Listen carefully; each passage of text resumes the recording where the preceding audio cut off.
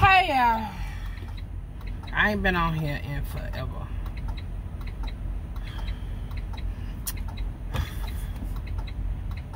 I'm depressed. Things just happening and happening and happening. I'm not giving up, but things just happening.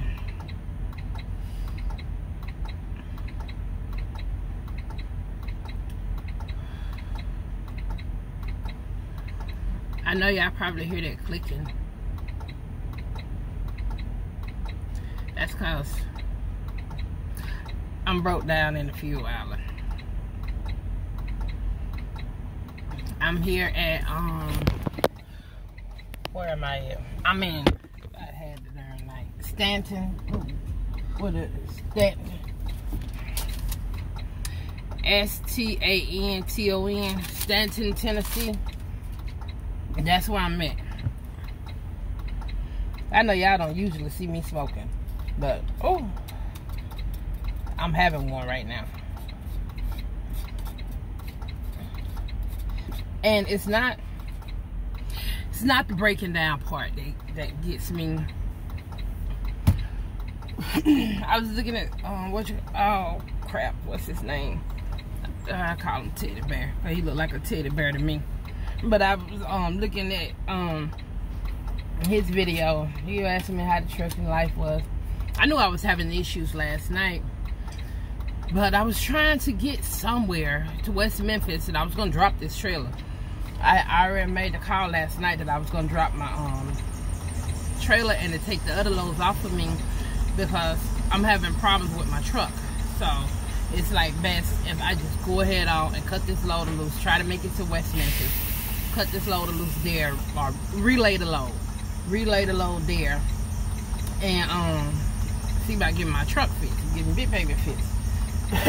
Well I had to stop here because I was running low on fuel. So as you can see I only got 50 gallons. I didn't need to get that much but I was like I just put 50 gallons in here. That'll get me on the West Memphis. I'm less than an hour away. And I can cut the loader loose and maybe they can look at it. Um, look at my truck and possibly get her to go on or whatever, whatever, whatever. Well, once I switched off here, like I said, I ain't had no choice but to stop or be sitting on the side of the road out of diesel or something because I was low. But um, when I got back in the truck, the thing, the issue is, should start up. What he called that? A slice a slave cylinder. She started up just fine. The problem is um, getting to go in gear. So you know how you in neutral, and when you start your truck up, um, push the clutch and all that stuff. Get it, you know, get your truck to start up, start up, and then you push the clutch, put it in gear, and then you pull out. Well, when I go to put mine in gear, she just grind. She just just be grinding. And so I don't forget what they call it, but something isn't stopping in order for it to go in gear. And so um, this morning when I left from the truck stop, what I did was I um I heard a beep. I um was able I guess to get whatever needed to stop stop so I could put it in gear and then pull up while she was switched out. Start up Shut the truck off. Put the truck in gear. Start the truck up. And then pull off. I was able to do that. But then, you know how like when you leave it out from any place or business or whatever, or even home, you stop. You have to stop to make sure ain't nothing coming. Well, when I was trying to stop and like put it in like a lower gear, like third gear or whatever, she kept pulling. She went in gear, but she kept pulling. And then I'm pushing down on the clutch trying to get her to stop. Wasn't nothing coming, which luckily where I was, it was wide open at, so wasn't nothing coming. Hello, sir. You're a nice looking man. You still ain't making me feel better just because you look good. I don't feel better. I'ma look though. I'm still human. With all my problems that I'm having. Anyway, um, So luckily wasn't nothing coming or anything like that. So um because I thought it was gonna of course I was gonna make a shit down right there before I pull out in front of someone.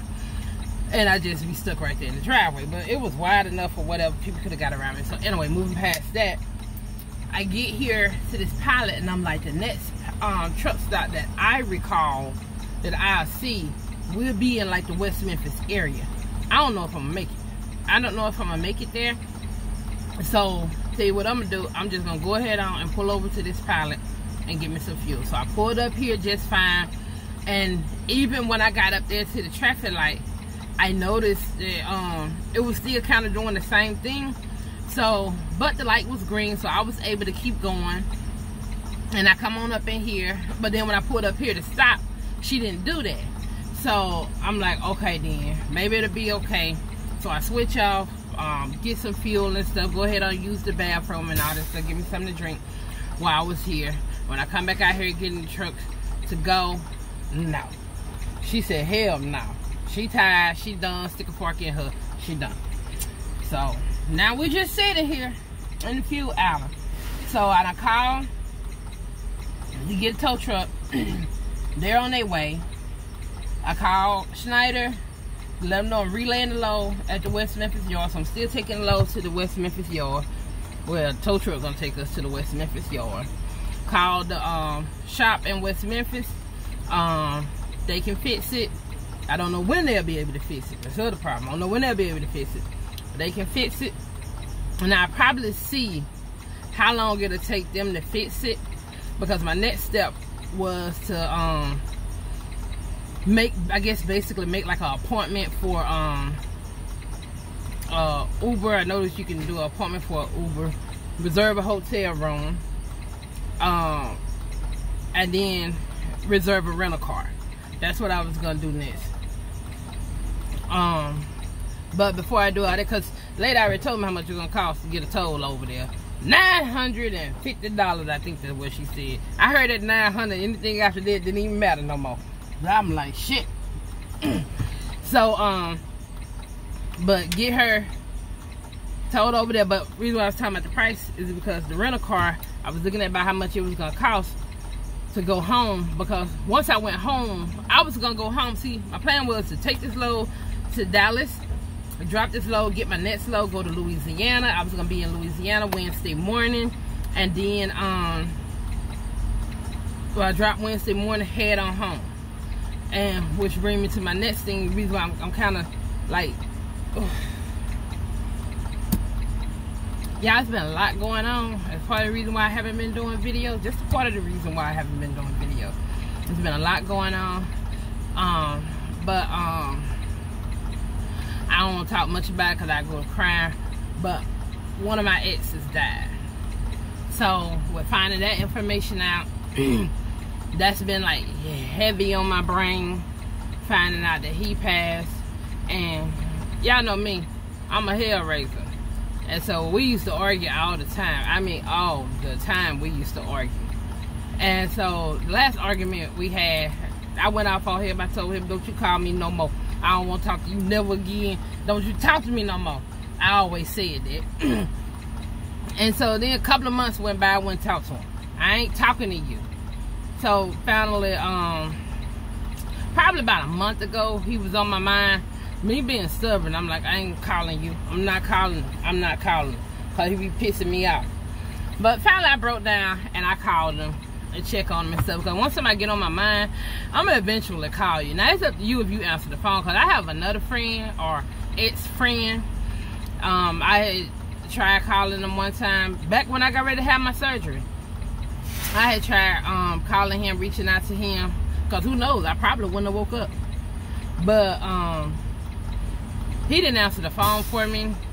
And he sent a text message like, if this is, if it's me, or whatever. And I was like, I messaged him, told him I would have my surgery and stuff like that. He wasn't rude in the text message. That was the last time I had anything to say to him. So, I'm not going to beg for conversation. But, um, back on my ex, uh, which he and I, we was just friends. And so, we had a disagreement. Okay, I'm telling you two stories. The one guy who was just my friend, we had a disagreement about something and I refused to apologize for it because I'm stubborn and I don't believe I was wrong. I'm not going to apologize to make you feel better. So we had a disagreement about that and now he won't conversate with me. Now I can lie and apologize to him, probably be bad talking to him, but I ain't gonna do it. So I do still be stalking him a little bit. I, I say stalking, just checking up on him, making sure he okay. But I don't engage with him no more. I figured I tried one time. If he want to engage with me, he know my number. He know how to get in contact with me. Hell, everybody know how to get in contact with me. but my ex, I did call him, and I called him and he answered the phone. He always answered the phone so sweet. I thought I've been on my mask spell. He answered the phone and stuff. And so we was talking. The crazy part about it, we never addressed what we were. I forgot what we was arguing about. I forgot our last argument, so that's kind of like the part that pushed me. I knew I was mad, but I forgot why I was mad. And so he answered the phone and then he was like, my baby. He like, you gonna always be my baby. I don't care if you be mad with me and all that stuff. And so I was happy to hear his voice. And then he was talking about, cause he be, but I ain't gonna say stalking, but you know how we always check on us if, if, we if we still friends. But he had sent me another friend request on Facebook because he got a different page. And so we was talking. He was talking about he saw my pictures on there.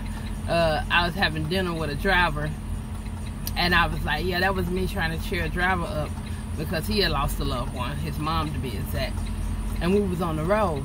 So that was me trying to um, cheer him up. He like, I wanted to tell him about it. I said, look here, I'm not your woman. You don't tell nobody about nothing. I don't belong to nobody. I belong to me and God and my mom and daddy. That's it. And so, well, we had a real good conversation. And uh, he was happy. And he was talking about um, family trips that they had took and I don't know, it just felt good talking to him. So then um, he called me again.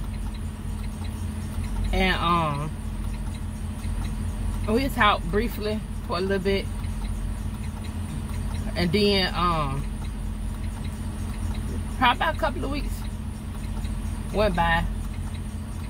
And then I just um my auntie called me and she asked me, is this true? That he had done passed. And I was like, I don't know. I was like, what you talking about? So then I go on Facebook and I see what his sister had put on there.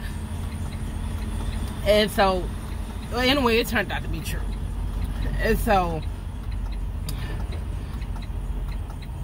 I was glad and thankful that I got a chance to talk to him before he passed.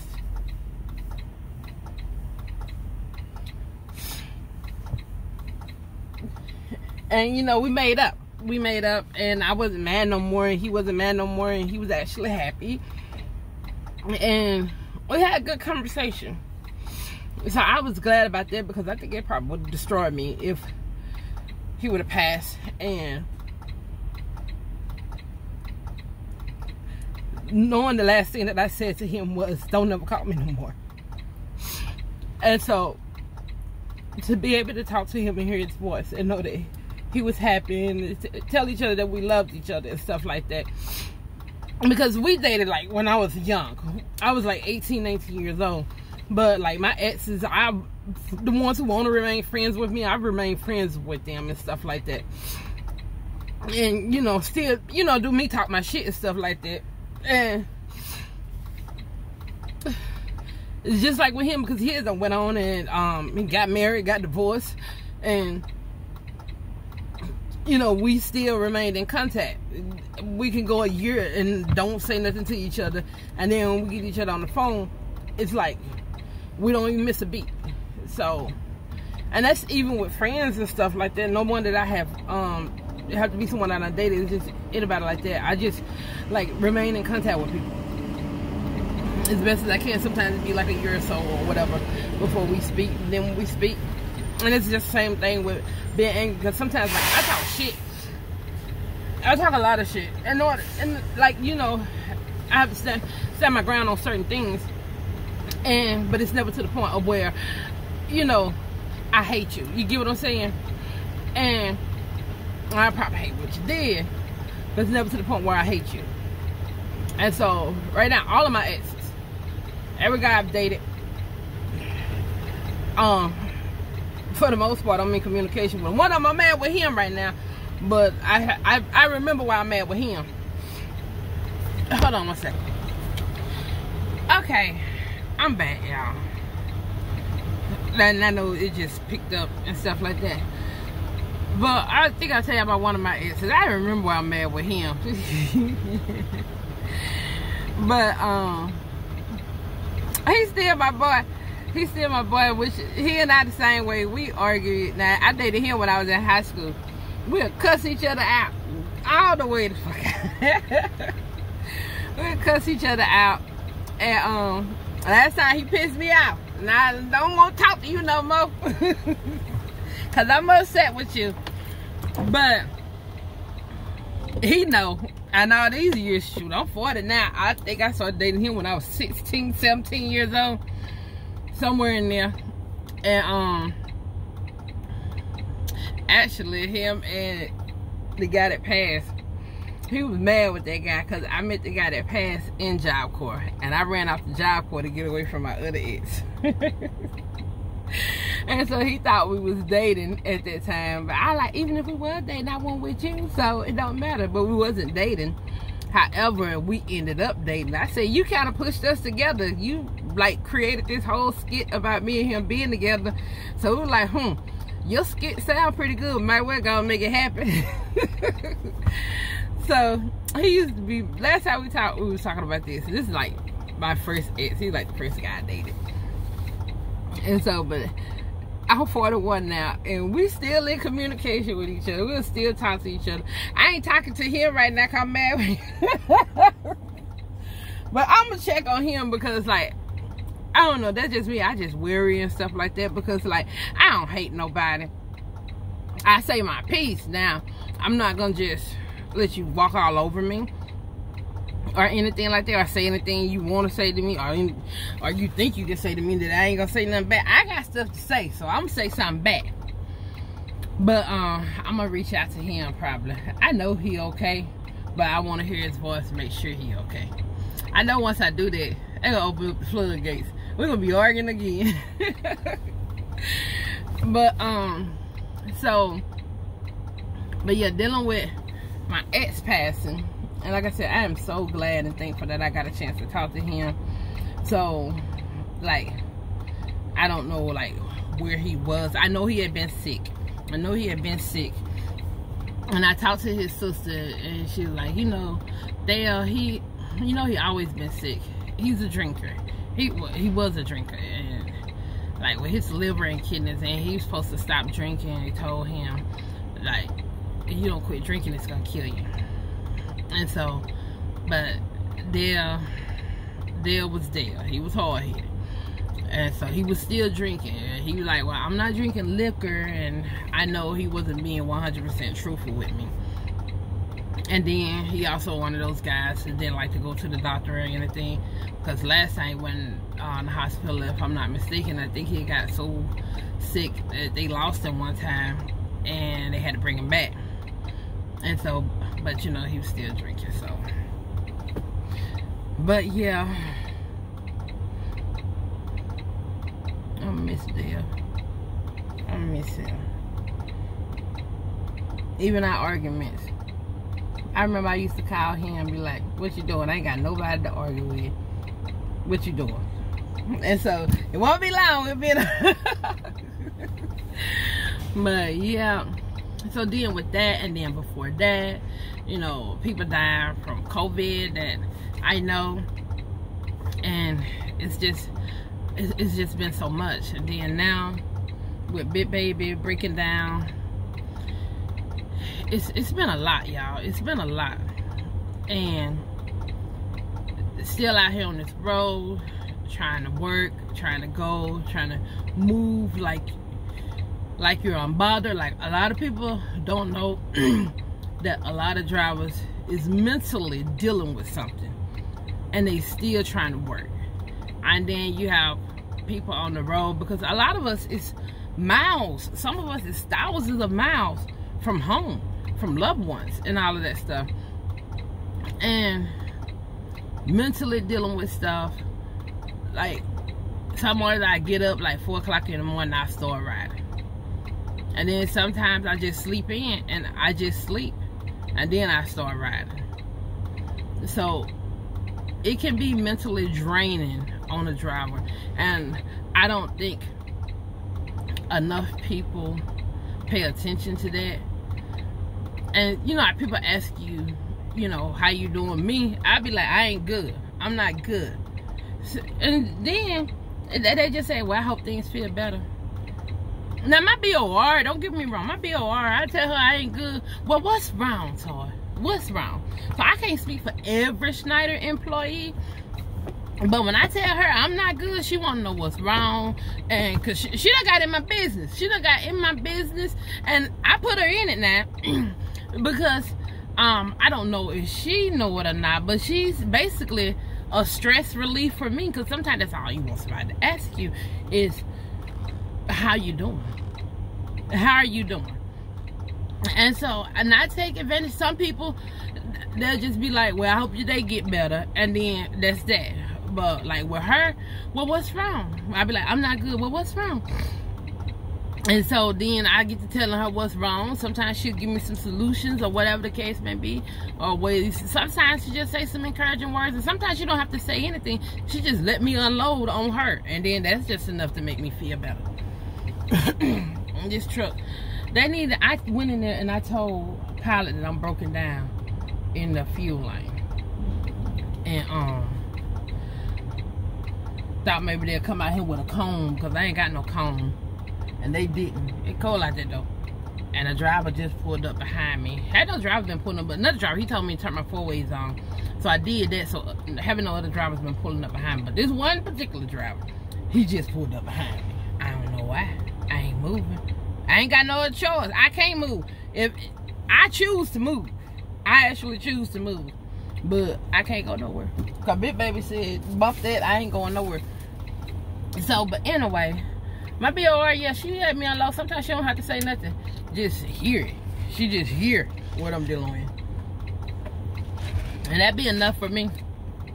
And so, I don't know about other companies uh, if they do it. But sometimes it's also on the drivers. butt when you have those situations where you tell someone your day ain't going good, then you tell them the issues that you having, and then their main response, well, I hope everything get better for you. I hope every every time, I hope everything get better for you. I pray everything get. A lot of people say I'm gonna pray for you, and then they don't pray for you. It's like something to say. Oh, he don't move. I was just finna put my jacket on. I was getting ready to walk back there and tell him, cause I wasn't gonna just let him sit back there, and he can pull it to another field bank.